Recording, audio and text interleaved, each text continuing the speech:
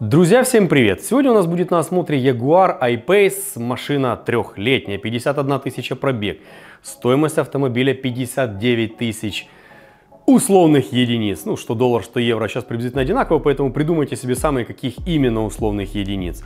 Машина дорогая, машина для эстетов, машина для людей не бедных. И как мы знаем, все эстеты, они такие слегка, ну, изродни, наверное, равно перфекционизму. Вот любой эстет хочет, чтобы у него все было классно. Точно так же и наш нынешний заказчик, он хочет, чтобы с машиной все было классно. Он предварительно уже осматривал автомобиль, и у него есть подозрение, там по некоторым царапинам он понимает, что машин битый машина битая. Ну, она все-таки девочка, поэтому машина. Так вот, действительно ли этот Ягуар разбитая? Об этом сегодняшнее видео. Будем смотреть, будем разбираться, действительно ли стоит 59 тысяч эта прекрасная кошка.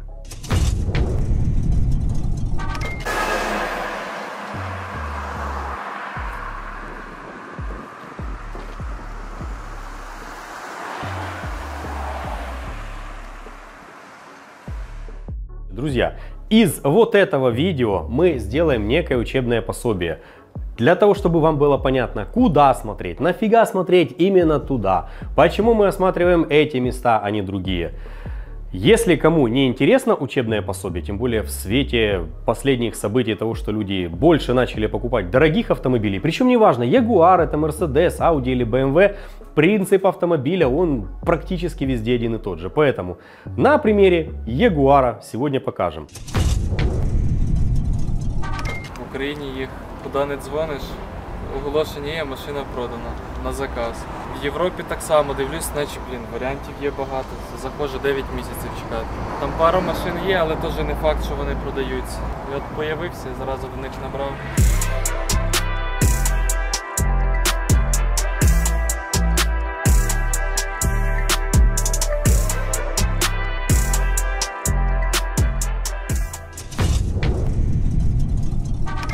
Перед тем, как осматривать автомобиль, моя личная рекомендация – узнайте историю про саму машину. Это можно сделать в разных сервисах. Например, в базе МВД. Там можно посмотреть, сколько машина была раз в продаже. В базе автономеров можно посмотреть, сколько раз она регистрировалась, когда были последние регистрационные действия. Можно взять, обратиться к страховым. Не у всех есть доступ, но тем не менее у кого есть, можем обратиться. Или же можно сделать запросто, обратиться в один сервис. Есть сервис CarVertical. Это вся история автомобиля от начала жизни до конца конца. Там можно посмотреть, был ли этот автомобиль в ДТП, был ли он в такси. Ну, такая машина не будет в такси, поэтому не наша история. Можно посмотреть, сколько раз он был в ДТП. Можно увидеть фотографии, насколько жестко он был в ДТП. Сколько раз он был перерегистрирован, когда, когда он был на продаже. И это все в одном ресурсе. Друзья, по промокоду 1авто вы получите 20% скидку. И, естественно, ссылочки на сам сервис внизу. А по вот этому автомобилю мы уже знаем, что там слегка был крашеный задний бампер и притертая справа спереди крылышко и фара. Смотрим дальше. Машина в хорошем состоянии из того, что здесь было. Здесь только крашеный бампер у нас. Вот чуть-чуть по, по цвету он выпадает. Но здесь была косметическая покраска, ничего страшного вообще не было.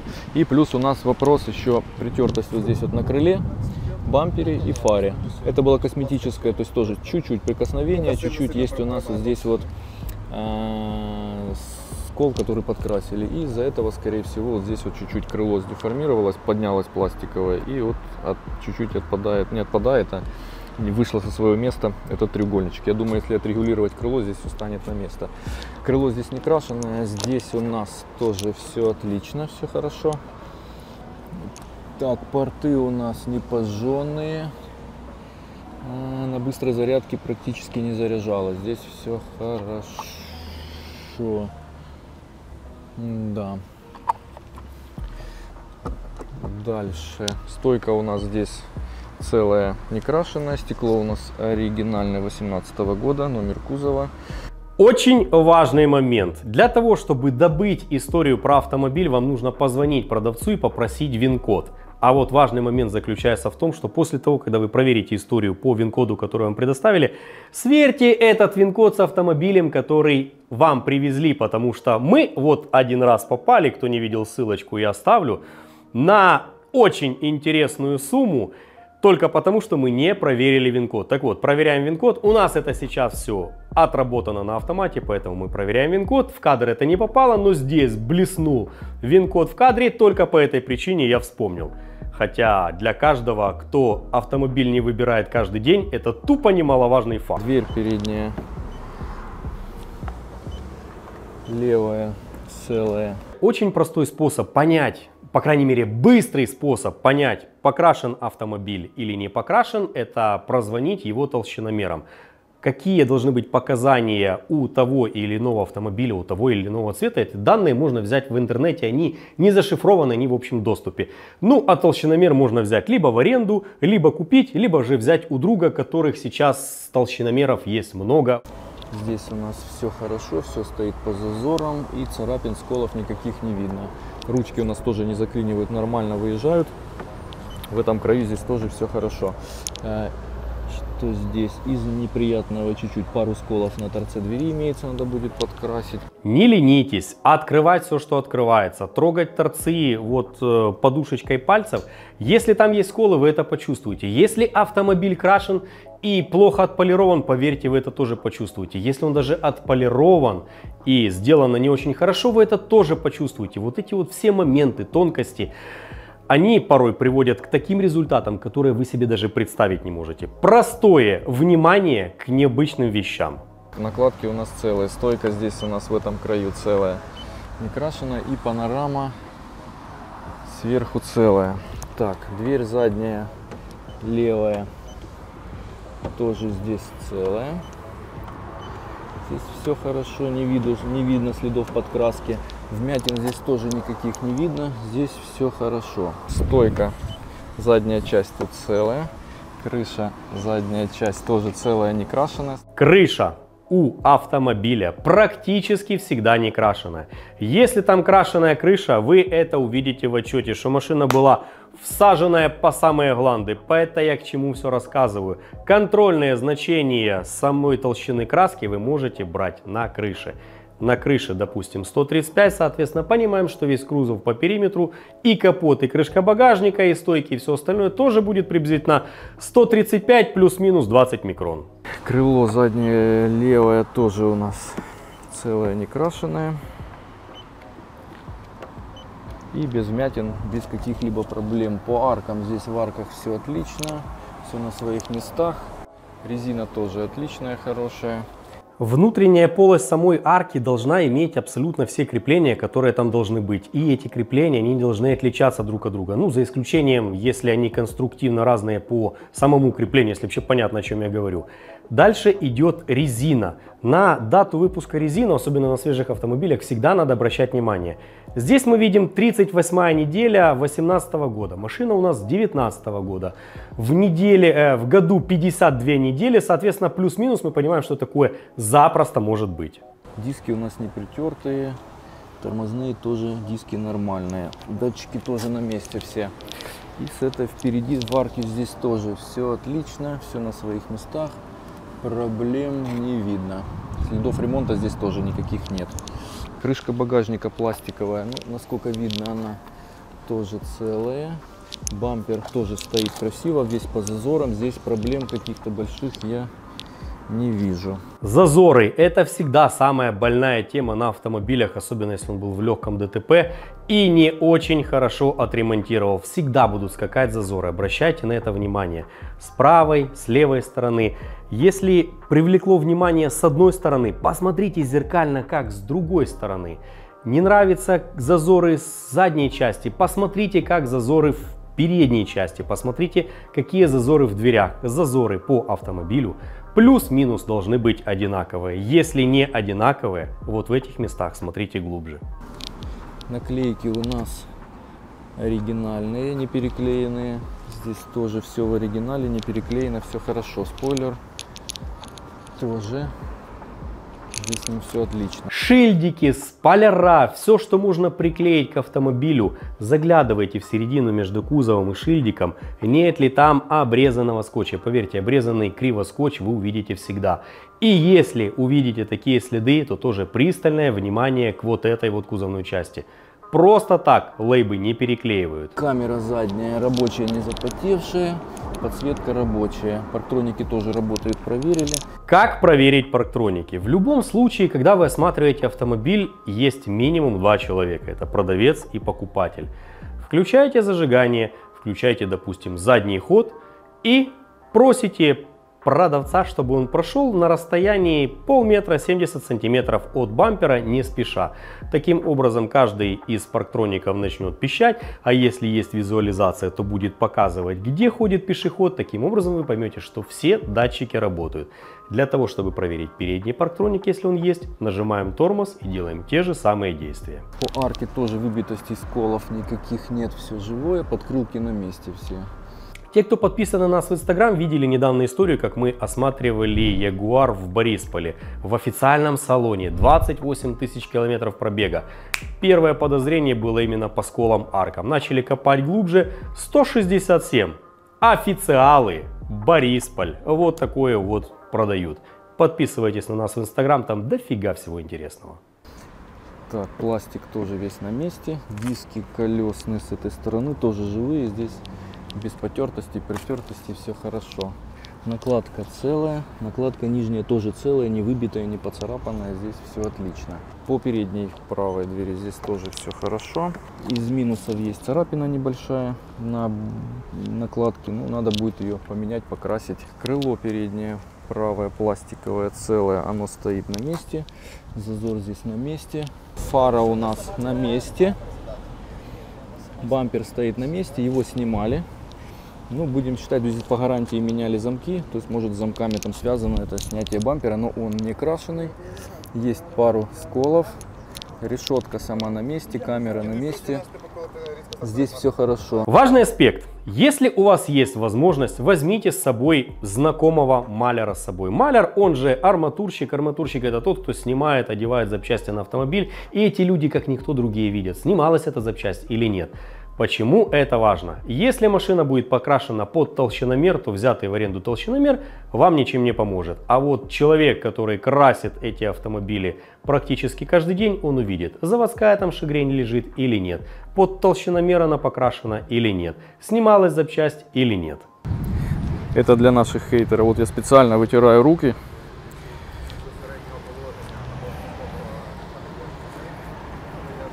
Здесь отступление от обучающего процесса и большой привет нашим любимым хейтерам, которые пишут всегда везде все, что можно. Хейт это тоже большое внимание. Ребят, отдельное вам огромное за это спасибо. И да, Валентин всегда протирает руки перед тем, как лезть в салон. Каркас двери целый, здесь не битый, здесь все хорошо. Здесь все нормально. По карте дверей, карта дверей хорошо выглядит. Здесь вот есть чуть-чуть затертости небольшие на коже. Кожа очень нежная, вот она слегка потертая. Осматривайте карты по периметру. Если они снимались, на них могут быть заусеницы, которые свидетельствуют о том, что машина разбиралась. Речь, напомню, сегодня идет о более-менее свежих автомобилях с небольшим пробегом. А если у машины небольшой пробег, то нехер туда лазить. И, соответственно, если вы увидите некие заусеницы, то можно задать некие дополнительные вопросы. А вот ответы на эти вопросы, ну фиг знает, куда вас приведут. И, возможно, вы узнаете про машину то, чего вы не узнали. Поэтому обращайте на это внимание. Так, здесь у нас ничего не разбиралось, не красилось, здесь все хорошо. Здесь тоже все хорошо. Дверные проемы. В дверных проемах толщина краски всегда будет меньше, нежели она снаружи. И когда вы в дверных проемах, обращайте внимание на крепление болтов дверей. Если на них нет засечек, значит большая доля вероятности того, что оно не снималось. Ну, точно так же их можно покрасить и точно так же это можно вычислить. Просто внимательно посмотрев, ну или же хотя бы посмотрев. Не забывайте смотреть на вот эти вот вещи. Пороги у нас слегка тут ногами подзапиленные. Ну и пластик вообще как бы ее надо будет отхимчистить, и тогда она будет красивая, потому что белый салон и вся пыль сразу видна на ней. Есть потертости вот с легкие на сиденье, но это не подкрашено, это родное. Вот здесь то же самое от заклепок на джинсах проблемы такие возникают. И вот здесь вот затертость от ремня безопасности. Когда его накидываешь, вот он здесь трется. Ну и ремень сам тоже грязноватый, то есть надо будет его привести в порядок. Дальше здесь у нас все хорошо. Здесь все хорошо. Здесь все хорошо у нас. Экраны чистые, нормальные, все здесь работает, дефлекторы, кондиционеры, здесь все рабочее. Руль у нас тоже в заводском исполнении, здесь все классно. По салону смотрим точно так же, чтобы ничего нигде не отличалось друг от друга, чтобы между пластиком не было заусенец. Дефлекторы, чтобы работали, проверяем зеркала, проверяем все кнопочки, э, помогаторы, которые есть. В общем, ничего страшного, но просто максимум уделяем, включаем все и пробуем, работает или не работает. Точно так же и климат, точно так же и кондиционер. Здесь у нас стояли, стояло детское кресло. Ну да, да. То есть мы так вызывающе люди осматривают. А здесь вот тут поэтому есть потертости небольшие. Здесь вот тоже есть маленькие потертости. Спинка чистая, хорошая. Здесь экранчики работают, тоже все кнопки работают. Здесь все хорошо. Дальше потолок у нас э, замшевый тоже отлично. Панорамный потолок тоже здесь все хорошо с ним. Багажник открывается плавно, здесь все отлично, здесь все хорошо, все на своих местах. Здесь у нас есть, ага, получается компрессор у нас есть, а баллон к компрессору, ага, тоже есть. Ну все отлично, вон его место там сложить надо будет его потом в том углу. Аптечка, крюк есть. Что должно жить в багажнике? В зависимости от страны, ну имеется в виду машина пришла с Америки или же машина европейская, в багажнике будут находиться разные вещи. Общего только несколько вещей. Это аптечка, крюк, запас, все. Аптечка, крюк. Значит, Америка. Это запаска, это баллонный ключ, это домкрат, это аптечка.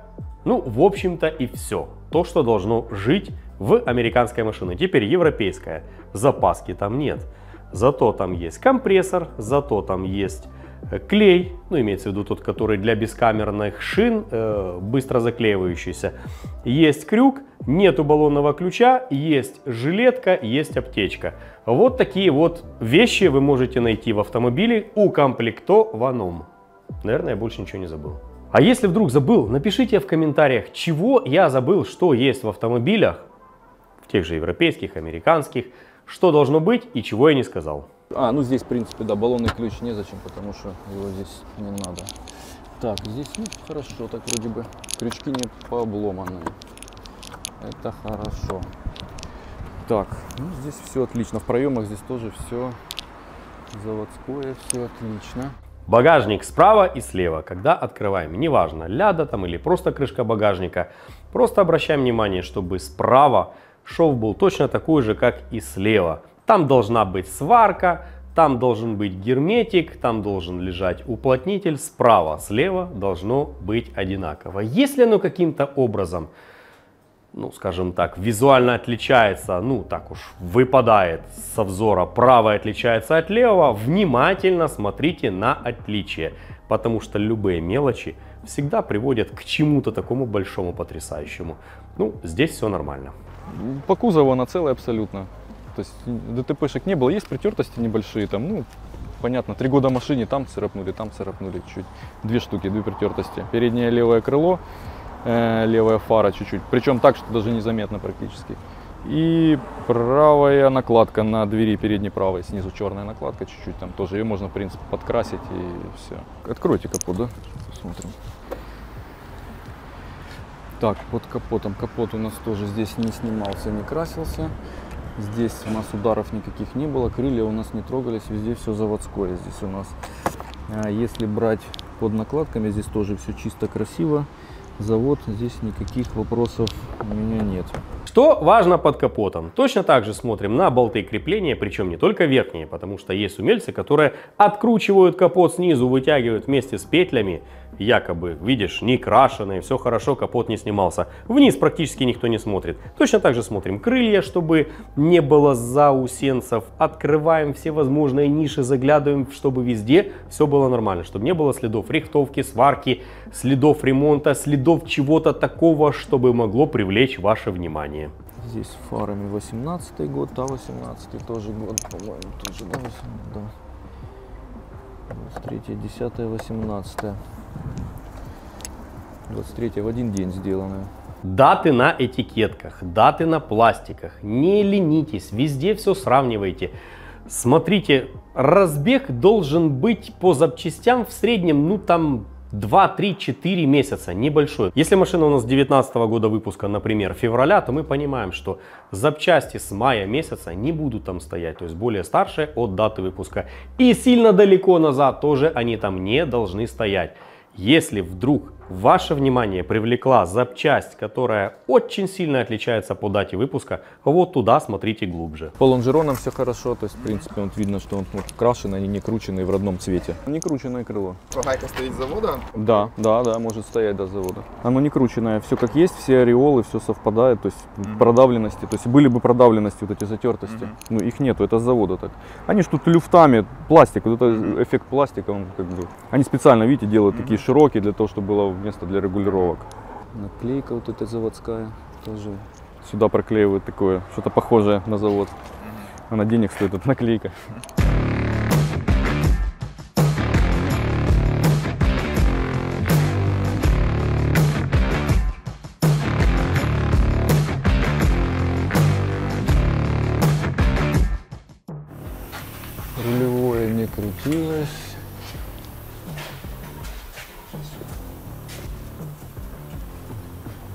Одним из обязательных этапов это нужно автомобиль загнать на СТО, ну как минимум на подъемник поднять и посмотреть его снизу.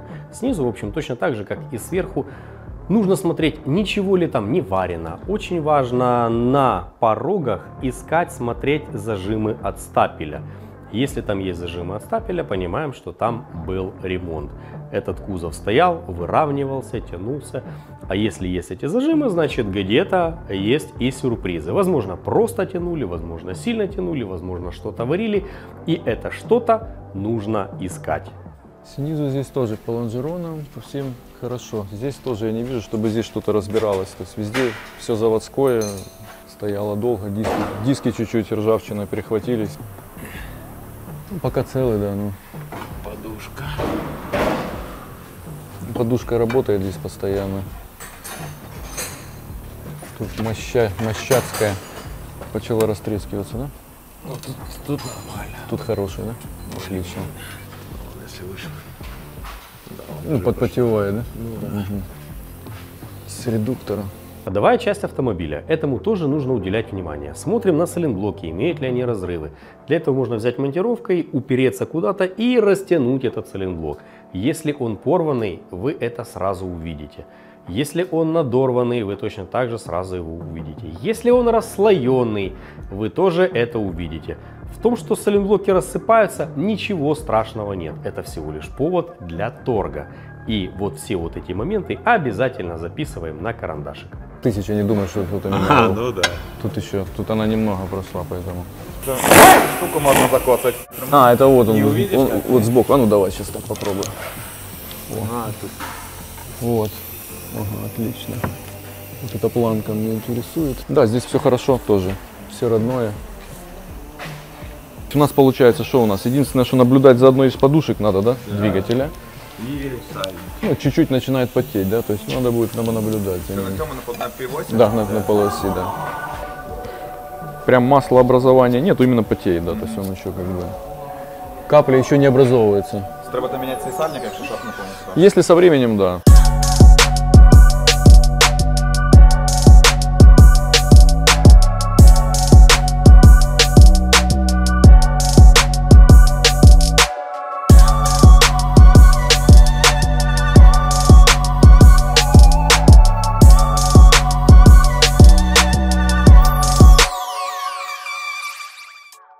По низу на подъемнике, значит по подвеске, по задней части здесь все хорошо, Э, все пластики на место, брызговики на месте у нас. А, значит колодки у нас еще целые хорошие, недавно делали развал, это хорошо, резина у нас тоже не поеденная и она еще походит достаточно долго. Кузов сам по низу здесь тоже целый, лонжероны у нас целые. В принципе, по подвеску здесь все отлично. По заду, по задку вообще вопросов никаких нет. Пластиковые накладки по низу тоже целые, и кузов сам снизу целый, тоже здесь никаких э, следов захватов э, с робота здесь нет. И по этой стороне, по правой, единственное, надо будет поставить клипсу, Здесь не хватает, срезали и на что-то наехали, наверное. И сам пластик у нас целый. Двери тоже по низу здесь целые, целые. И бровка у нас здесь тоже целая. Здесь все хорошо. Дальше по подвеске у нас передней здесь все отлично, без вопросов. Из неприятного по механической части чуть-чуть подпотевает сальник э, привода переднего левого. И у нас надо наблюдать за подушкой двигателя а, электромотора переднего чуть-чуть начинает уже трескаться на ламелях, но это еще вопрос такой будущего. Следов ударов здесь тоже никаких не видно. Лонжероны по передку здесь целые тоже. Бампер по низу здесь тоже целый. Есть маленькие потертости, но он целый, накладка целая, без всяких вопросов. Бампер по низу тоже здесь целый, красивый. В этом видео затронули всего лишь кузов и всего лишь частично ходовую часть. Друзья, если подобное видео вам заходит, напишите об этом в комментариях. Мы еще здесь не затронули мотор, мы еще не смотрели электрические части автомобиля, мы еще здесь дофига чего не смотрели, потому что в одном видео многолетний опыт нельзя никак уместить. Вот это видео полезно будет тем, кто любит своими руками где-то чего-то там сделать. Вот это да. Люди, которые находятся в стадии выбора и у них есть безлишь свободного времени, это тоже пойдет им. Но если у вас вдруг нет свободного времени и вы хотите довериться профессионалам, друзья, добро пожаловать на борт. И не забывайте, что после каждого осмотра мы автомобиль рекомендуем, либо же не рекомендуем. И если эту машину мы рекомендуем, то естественно на этот автомобиль мы даем гарантию. Друзья, на сегодня все. С вами был Николай Тарануха, Киев, компания 1 Авто. Всем удачи на дорогах, всем пока-пока. Ой, сейчас начнется в комментариях, почему ж про электричку не рассказал и всякое такое.